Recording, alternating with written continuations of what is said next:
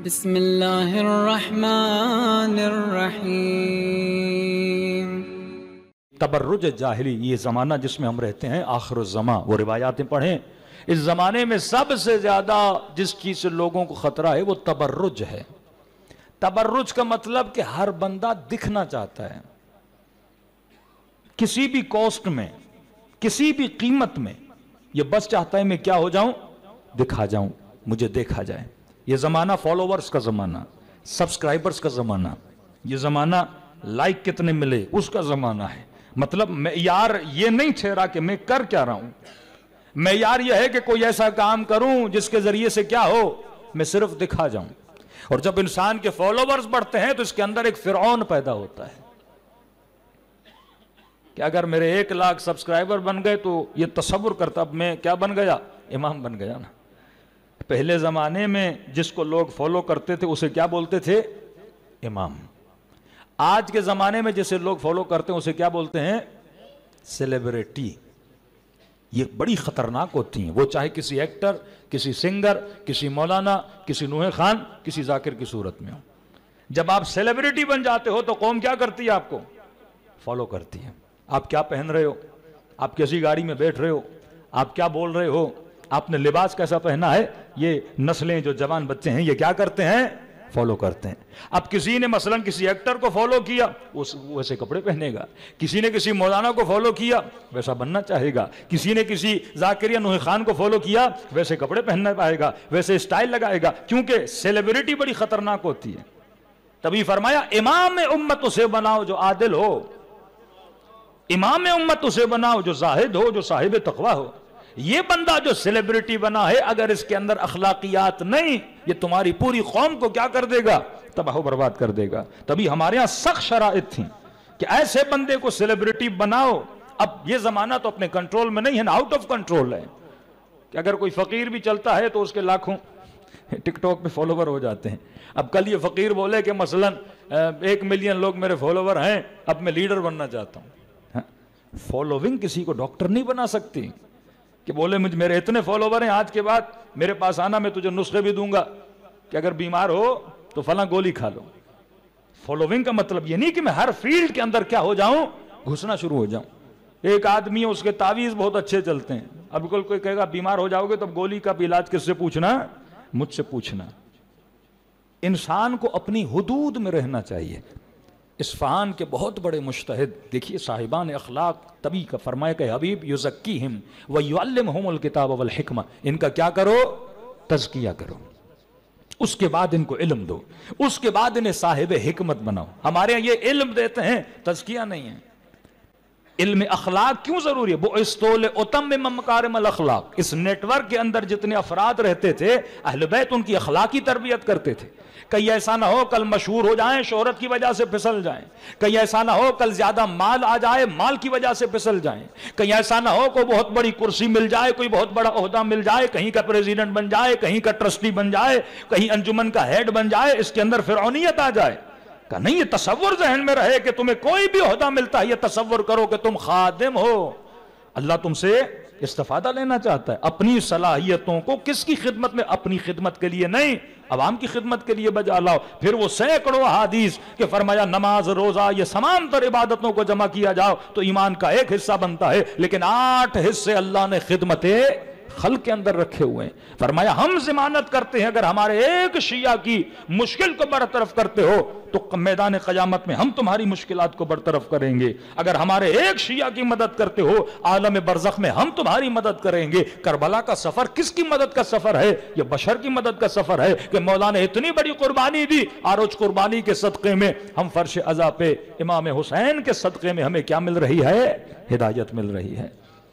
तो फरमाया जब तक इंसान का तस्किया इस्फान का बहुत बड़ा आलिम कहते हैं, नमाज़ ईद के लिए लाखों का मजमा कि हम किबला के पीछे नमाज़ पढ़ेंगे। अब आपको पता हो कि दस लाख लोग खड़े हैं, सिर्फ़ इस इंतज़ार में कि फला मौलाना आके क्या पढ़ाएँ? नमाज़ पढ़ें। हर बंदा तरसता है मजमू के लिए। इनको पता चला ये आलिम दीन जैसे बाहर आए, निगाह मजमे पे पड़ी, फ़ौरन अपने घर की तरफ़ वापस गए।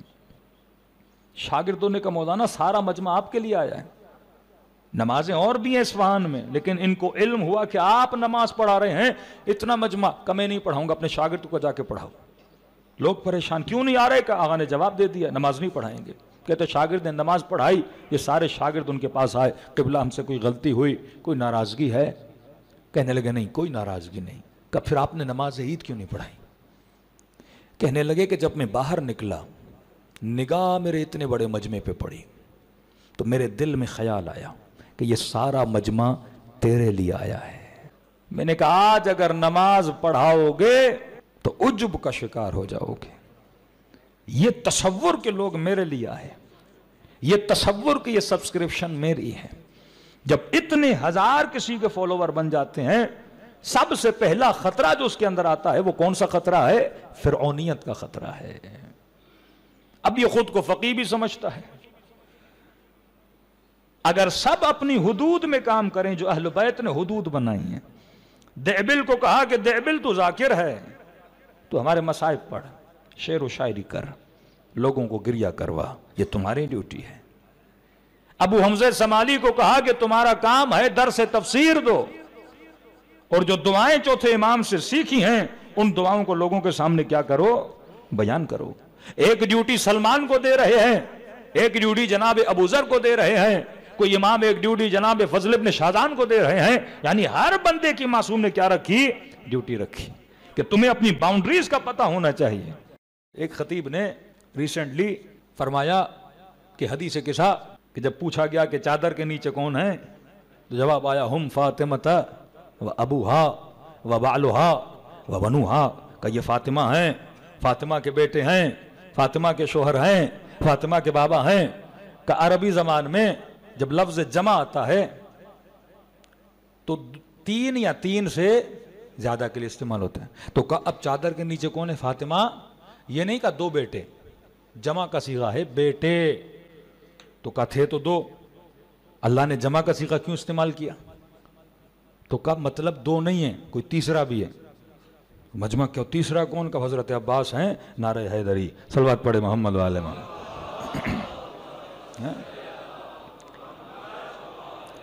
यानी समझ नहीं आती, जब तक ये खुदा से अली को न मिलाएँ, तब तक हज़रत अब्बास को चौदह के साथ न मिलाएँ। यानी क्या फजीलत हज़रत अब्बास की नहीं, अगर आप चादर के साथ न, नीचे न लाओ, क्या फजीलत नहीं हज़रत अब्बास की? यानी ज़रूरी है कि मैं मौला अली को खुदा से मिलाऊं, तब नारा लगे। ज़रूरी है मैं गाजी अब्बास को चौदह में लाऊं, तब जाके किस, कोई फजीलत को माने। यानी माइंड सेट इतना एक्सट्रीम लेवल पे ले गए। कि अब उससे नीचे बात करो तो मजमा मानता ही नहीं है। इस कदर हमने अपनी नस्लों को बिगाड़ दिया। और फिर आज के नुहे खान, आज के खतीब कहते हैं, आज के जाकिर कहें कि मजमा, और नस्लें यहाँ क्यों जा रहे? भाई, आपका बोया हुआ बीज है। ये तरबियत जो आपने की, आज उसी बीज के लिए परेशान हो। आज जब बच्चे बिगड़ेंगे, नस्लें बिगड़ेंगे, बेटियाँ बिगड़ेंगी, कहेंगे, मौलाना माहौल खराब भाई, माहौल खराब नहीं है। इमाम हुसैन ने बेहतरीन फर्श आजा दिया था। अहलबैत ने बेहतरीन नेटवर्क दिया था कि कोई कौम दुनिया की इतने लेक्चर नहीं सुनती जितनी शिया कौम सुनती है। अब जो कौम इतने लेक्चर सुने, रिज़ल्ट भी तो होना चाहिए ना। आप यूनिवर्सिटी खोलो, बेहतरीन टीचर रखो, बेहतरीन लेक्चर रखो।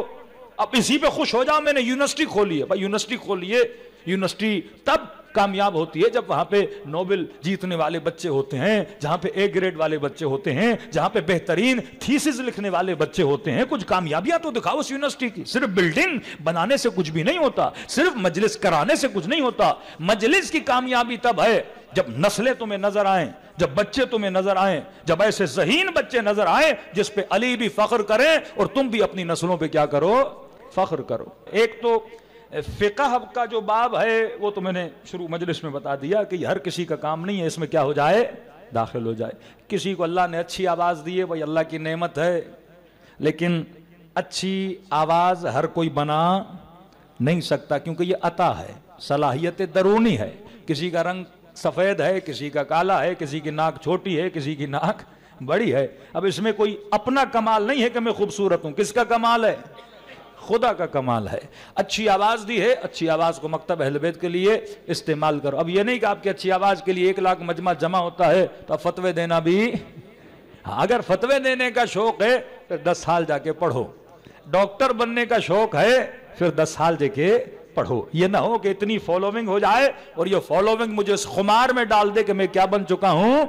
मुश्तद ये काम न कोई मौलवी कर सकता है, न कोई जाकिर कर सकता है। हमारा काम नहीं है कि मराजे के फतावा को टोकें या मराजे के फतावा पे बात करें। जो जिसका मुकलद है, उसके फतवा पे अमल करेगा। अगर सुन्नी है, अपने मुफ्तियों के पास जाएगा। अगर शिया है, अपने मराजे के पास जाएगा। न सुन्नी किसी टिकटॉकर के पास जाएँगे, न शिया किसी जाकिर के पास जाएँगे। अगर मसला पूछना है, अपने मराजे की तरफ़। अकल का हुक्म है फस ज़िक्र इनकुन तुम तमून अगर किसी चीज़ का इल्म नहीं, उससे पूछो जिसके पास उसका इल्म है। दूसरा फ़र्क, जो सबसे बड़ा फ़र्क है, जो नेटवर्क अहलवेद बताता है, वो आइडियोलॉजिकल फ़र्क है। आइडियोलॉजी क्या है? आइडियोलॉजी इनकी, हमारे भाइयों की ये है, समझ मुझे थोड़ी कम आती है, लेकिन जितनी मुझे समझ आ रही है कि आइडियोलॉजी ये है कि जिससे जो मिला, वो लो। जिससे? क्योंकि एक लाख से ज़्यादा सहाबी थे। अब डेफिनेशन ऑफ़ सहाबी हमारे हर चीज़ क्लियर है। इन अक्रमकुम इन अतकाकुम। कुरानी उसूल है। कि चाहे नूह का बेटा हो, तकवा नहीं। कश्ती पे नहीं चढ़ा, अल्लाह की लानत है। चाहे आदम का बेटा हो, अगर कत्ल करता है, वो साहिब अजाब है। चाहे नबी याकूब के बेटे हों, लेकिन यूसुफ को कुएँ में डालते हैं तो अल्लाह क्या करता है?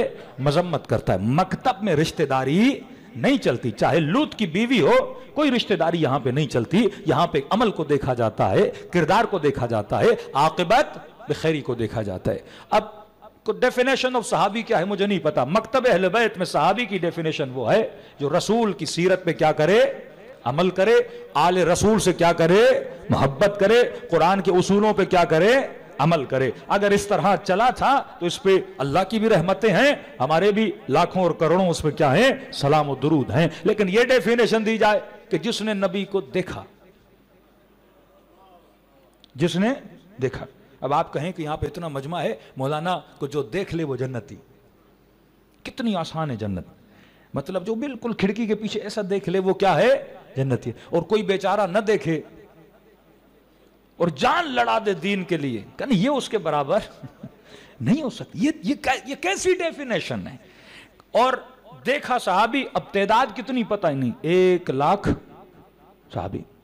ठीक। और कहा कि असहाबी का नजुम हदीस बनाई ना। मेरे साहबी सितारों की तरह। अब सितारों की तरह होता तो यहाँ तक काफ़ी था, लेकिन कहा अय हम इकतदई तुम एहतदई तुम जिसके भी पीछे लगे, हिदायत मिलेगी। मैंने कहा यह मकतब, अकल का मकतब है।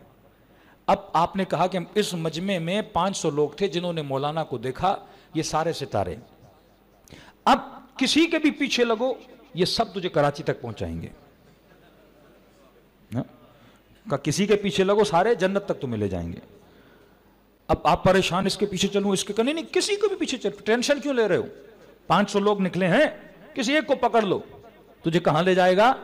जन्नत ले जाएगा। अब उम्मत को यह दर्श बताया, अब इतने निकले, उम्मत ने किसी ने किसी का दामन पकड़ा, किसी ने किसी का दामन पकड़ा। अब पता चला, कोई जमल में चला गया, कोई सिफीन में चला गया, अब ये परेशान हो गए।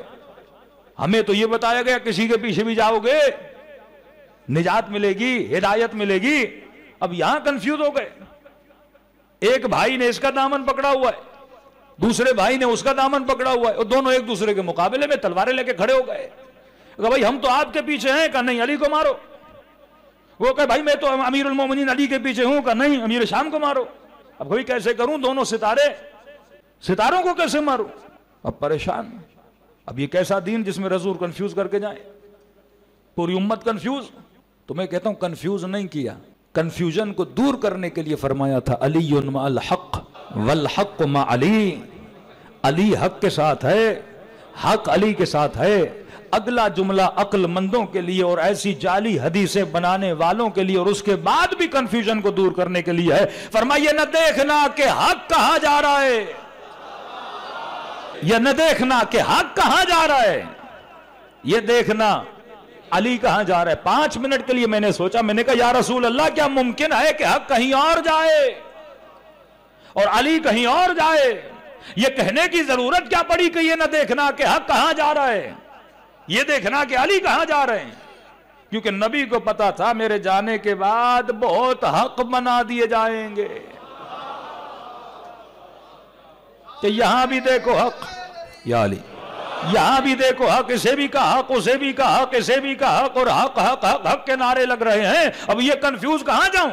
किसके रास्ते पे चलूँ? इधर देखे नबी की जोजा हक, इधर देखे अमीर शाम हक, उम्मत का मामू। करे तो क्या करे? इधर भी दे के हक, उधर भी दे के हक, कोई रिश्तेदार हैं, कोई साथ घूमे हैं, कोई जंगों में साथ हैं, बकौल इनके कुछ ने बेटियाँ दी हैं क्या क्या किया है? अब ये परेशान कहाँ जाऊँ? खुद जंग सफीन में एक शख्स अमीर शायद जंग जमल में अमीर मोमिन के पास है। अली में कंफ्यूज हूँ।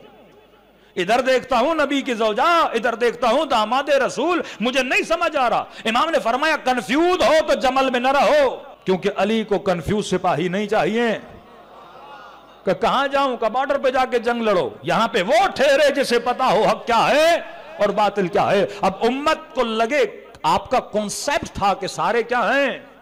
हक हैं। अब हक जब आपस में भिड़े तो नबी ने कहा, ये न देखना, ये हक कहाँ जा रहे हैं? ये देखना कि अली कहाँ जा रहे हैं?